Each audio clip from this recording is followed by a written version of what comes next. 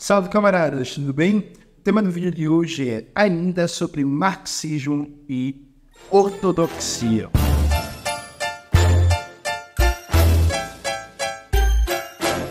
Antes de começar propriamente o tema do vídeo do canal, quero muito agradecer a você que ajuda a manter e melhorar nosso canal a partir do Apoia-se.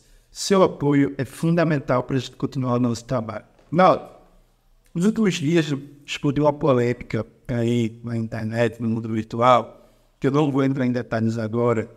Nessa polêmica, eu falo muito sobre reivindicar os caminhos do marxismo-leninismo, os caminhos da reconstrução revolucionária do PCB e por aí vai. E várias pessoas me questionaram, foi um questionamento muito bom, inclusive. Pô, Jones, tu vem falando tanto em estudar a realidade brasileira, em conhecer a realidade brasileira, em estudar o nosso país, as contradições de classe na nossa terra, e está falando em caminhos do marxismo-leninismo como se a verdade fosse dada e por aí vai.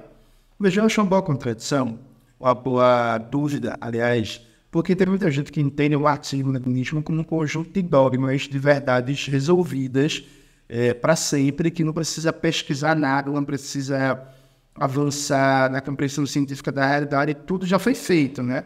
Então basta ler os textos de Marx, de Engels, de Lenin, de Che Guevara, de Stalin, de Trotsky, enfim, a depender da turma que se esteja falando e que meio que a verdade está revelada. Então, se pega, por exemplo, para entender a realidade geopolítica do mundo hoje, basta ler o imperialismo, a etapa superior do capitalismo de Lenin e está resolvido. Existe esse tipo de marxismo-leninismo. Inclusive, você tem organizações marxistas e leninistas brasileiras que entendem que ler qualquer autor, autora fora ali da listinha, né? Dos pilares do marxismo-leninismo é revisionismo, né? Eu não vou citar nomes, porque, enfim, eu, toda vez que cito nomes, alguém pode se doer, achar que é treta, isso aqui é uma reflexão teórica. É, eu conheço organizações marxistas-leninistas que acham que estudar o Caxo, estudar Gramsci é revisionismo, que ler Sartre é um desvio pequeno burguês e quando inteiro. E veja, a forma como eu entendo marxismo-leninismo é muito simples. Eu já falei em outros vídeos do canal sobre, por exemplo, o que é ser ortodoxo, que para mim o marxismo tem pilares universais e que enquanto existe esse capitalismo vai estar valendo, assim. Então, por exemplo, a classe trabalhadora nunca vai ter uma transformação radical das suas condições de vida fora do processo revolucionário. Ponto. O que define a morfologia, a configuração da sociedade é que classe social determina, controla o poder político. Ponto. É, o principal elemento de compreensão da sociedade capitalista burguesa é o conflito de classes que não significa que os outros aspectos da realidade sociológica não existam. O interacionismo simbólico, as funções sociais e por aí vai, tudo isso existe. Mas é o conflito de classes o elemento basilar, determinante da estrutura da sociedade burguesa. Assim como é, concepção materialista do ser social, para mim, é uma verdade científica consolidada. É isso dizer, para além do marxismo, viu, gente? a ideia de que o ser social é determinado pela forma como os seres humanos produzem e reproduzem a vida, para mim, é a verdade científica nada para além do marxismo a propósito. De tal sorte que, veja, eu entendo que ser marxista-leninista significa aderir a um conjunto de princípios historicamente estabelecidos, baseados numa criteriosa análise científica que, enquanto existe capitalismo, não está valendo. Ponto. Nesse sentido, eu sou ortodoxo, viu, gente?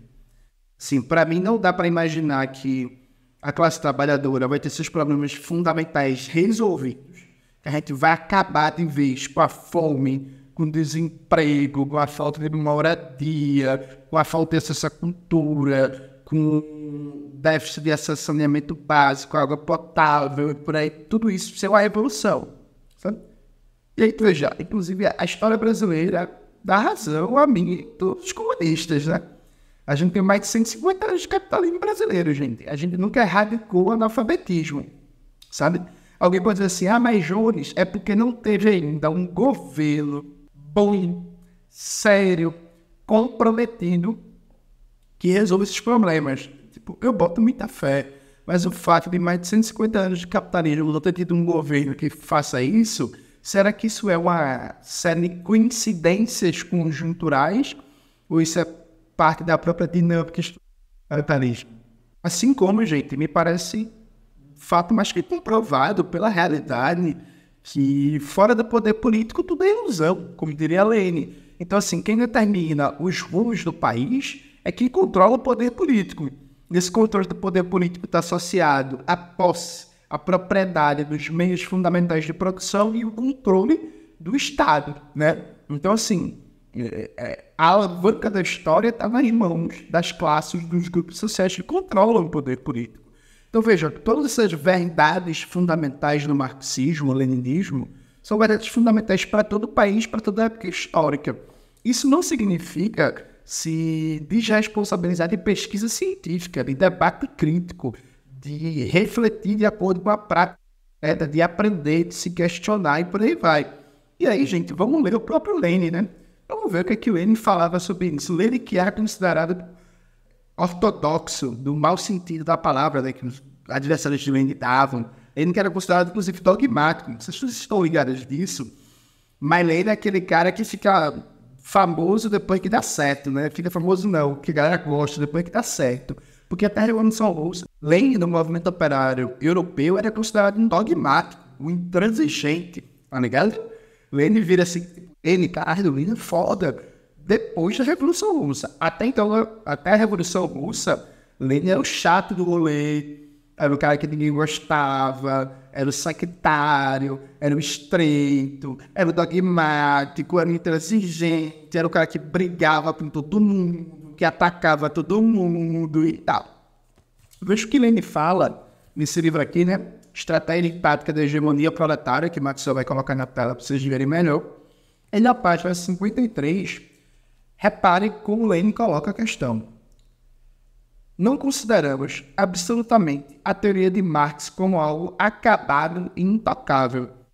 Convencidos, pelo contrário, de que esta teoria não faz senão fixar as pedras angulares da ciência que os socialistas devem fazer avançar em todos em todas as direções, sempre que não queiram ficar para trás na vida. Ou seja, gente, a história está em processo, a história não está acontecendo. Então, tem vários fenômenos, vários fatos históricos que os marxistas vão ter que estudar, vão ter que analisar, vão ter que compreender cientificamente para isso acompanhar a luta de classe em processo. Né?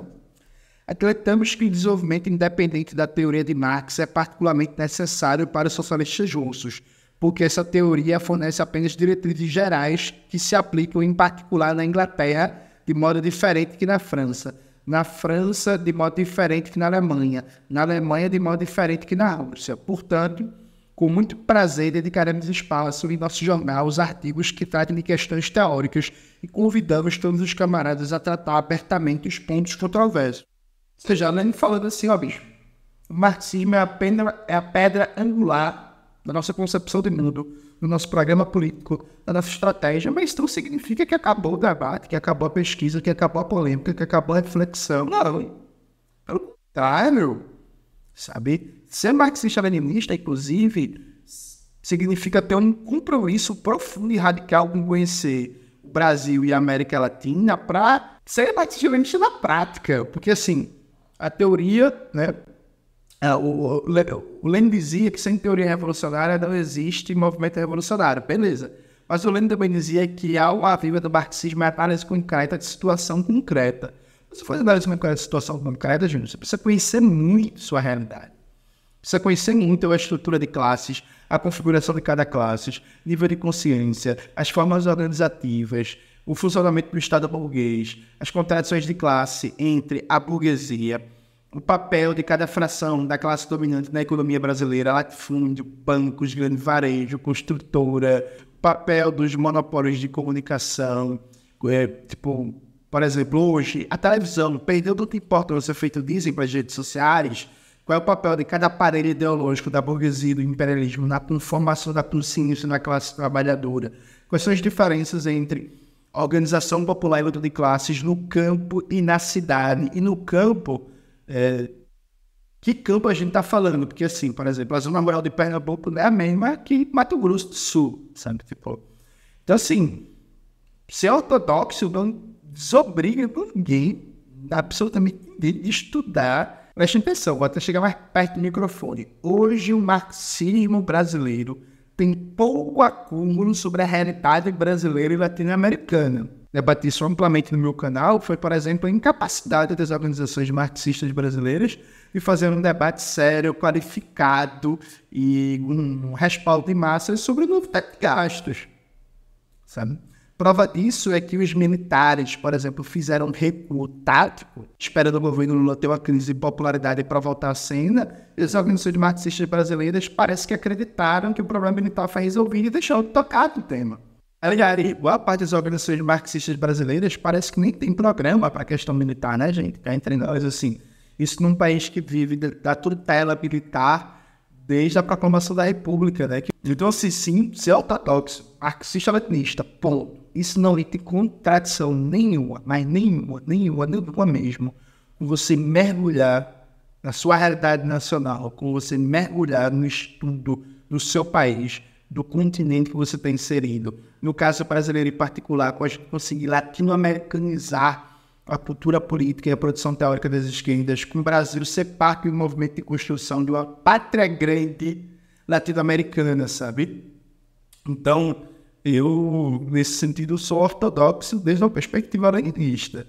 Para mim, há universais, cientificamente estabelecidos, enquanto existe capitalismo. Né? A luta de classes enquanto motor da história, a necessidade do poder político para operar transformações radicais, e esse poder político só, vê, só vai vir a partir de uma revolução socialista, a compreensão materialista de como se explica o ser social, tudo isso para mim é inquestionável. A necessidade de um partido revolucionário de vanguarda que seja o grande organizador do processo revolucionário, enfim, tudo isso para mim está dado. Só que as formas concretas como isso vai se operar na realidade brasileira, na conjuntura brasileira, precisa de estudo, precisa de produção, precisa de debate, precisa de polêmica, precisa de crítica para a gente dar uma cara a brasileira, latino-americana, para o nosso marxismo-leninismo. É isso, galera. Espero que vocês tenham gostado do vídeo aí no canal. Não se esqueça de se inscrever no canal, ativar o sininho, curtir esse vídeo, compartilhar tudo isso que vocês já sabem. Esse vídeo só foi possível graças ao seu apoio a partir do Pix ou do Apoia-se. A você que contribuiu com o canal, meu muito obrigado. Um beijo e até a próxima.